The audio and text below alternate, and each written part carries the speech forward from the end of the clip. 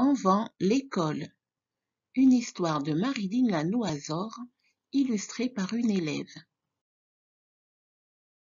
Le soleil pointe à peine le bout de son nez. Katouri se réveille. Elle s'étire. Aujourd'hui, elle va à l'école. Et elle a très bien dormi. Hum, bien dormi.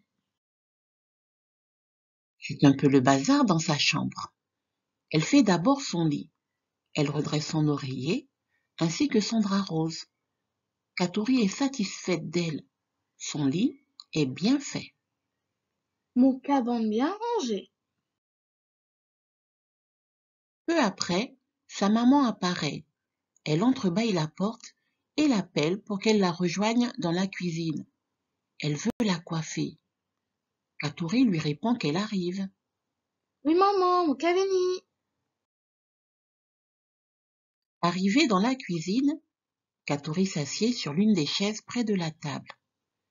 Sa maman commence à lui démêler les cheveux, mais tire un peu trop fort et fait mal à la petite fille. Ouais, maman, où fait mon mal? Une demi-heure après, la maman de Katouri a presque fini de la coiffer.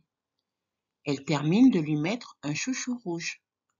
Elle a fait à sa fille de jolies tresses avec un chignon. Mais Katouri continue de se plaindre et finit par agacer sa mère. Gade Timon. La maman de Katouri s'affaire dans la cuisine. Le petit déjeuner est prêt à présent. La cuisine sent bon le chocolat chaud et la mangue mûre.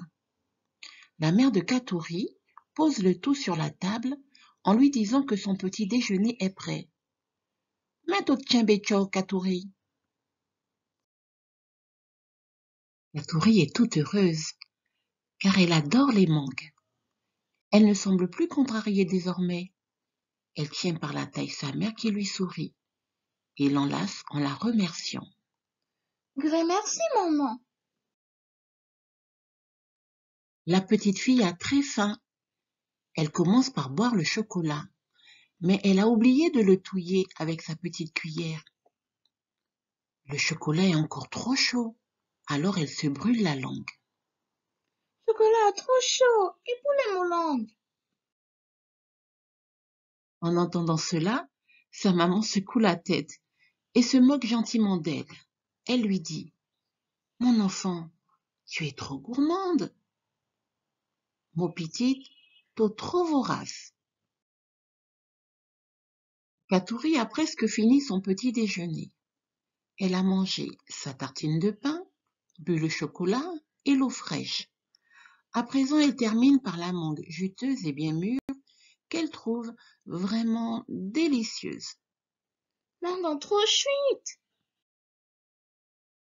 La petite fille a fini son délicieux petit déjeuner.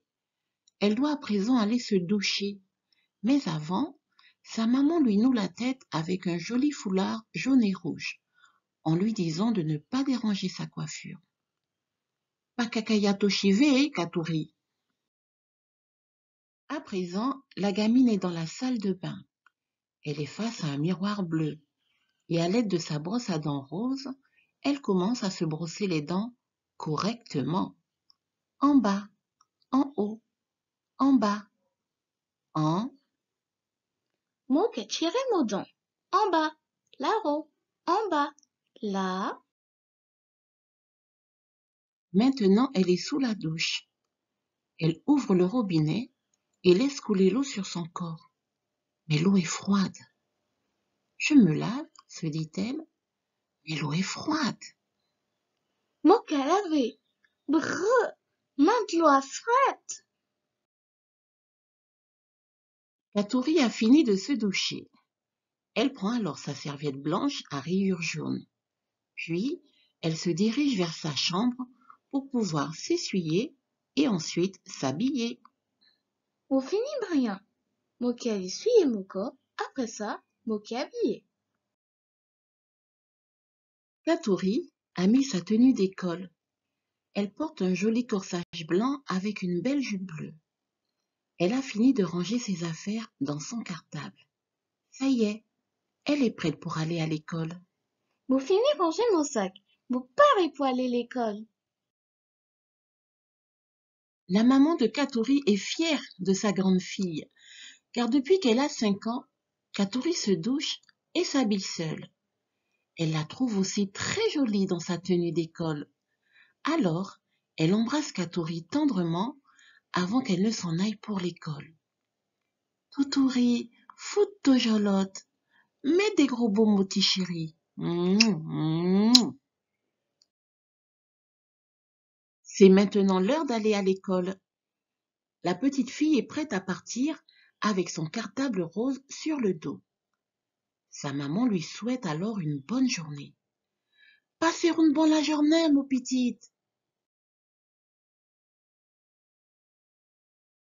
L'histoire est terminée. Mets la vidéo sur pause pour lire la définition des quelques mots en créole guyanais utilisés dans ce récit.